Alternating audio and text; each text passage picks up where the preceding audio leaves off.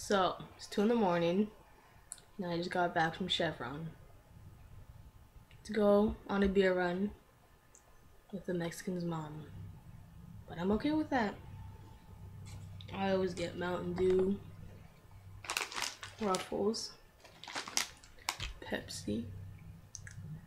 Sometimes I get ice cream. This time I didn't. Oh, and a candle. smells like pe- oh, pears and lilies. This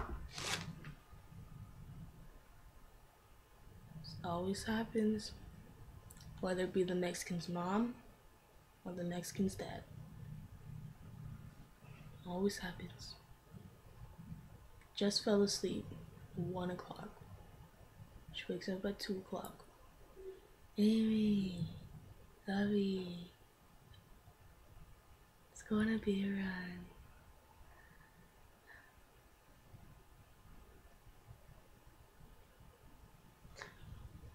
What are you doing?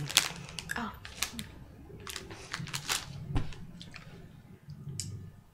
Let's go back to bed. I'm done. Oh.